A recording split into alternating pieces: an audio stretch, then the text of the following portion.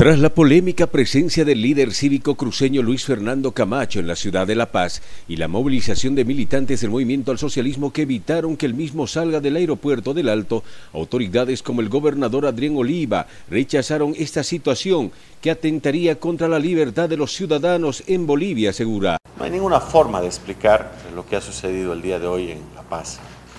Esto está además eh, no solo impulsado por el gobierno, sino que eh, refleja la manera en cómo se utilizan las propias instituciones del Estado para los propósitos políticos. En otras circunstancias hemos visto instituciones como la policía actuar con muchísima eficiencia a la hora de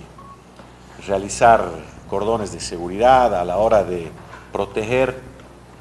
instituciones como la propia Casa Grande del Pueblo, y ver a esa misma policía ser rebasada por un grupo de manifestantes que intentaban ingresar al aeropuerto y que finalmente lo han logrado provocando de manera casi obligatoria el traslado del presidente cívico de Santa Cruz. Yo quiero señalar que las protestas, las movilizaciones son producto de una realidad en este país desde el 21 de de febrero,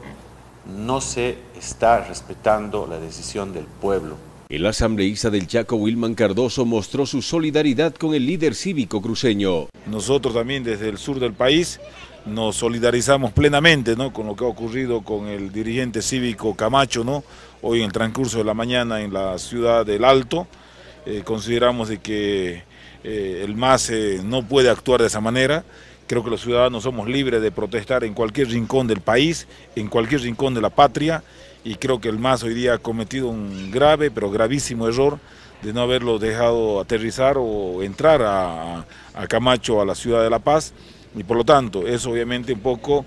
embronca más a la población en vez de ponerle paños eh, de agua fría. Lo que queda claro que el MAS está muy